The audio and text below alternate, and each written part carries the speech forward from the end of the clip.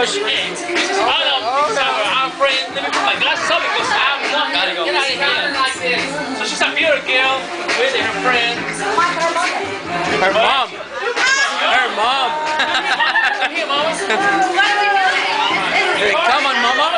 Come with me, mama. It's really, really loud it's the music. So she used to work with Tina Laredo. She's one of the best hostesses in town. So she's a pretty, so there's something for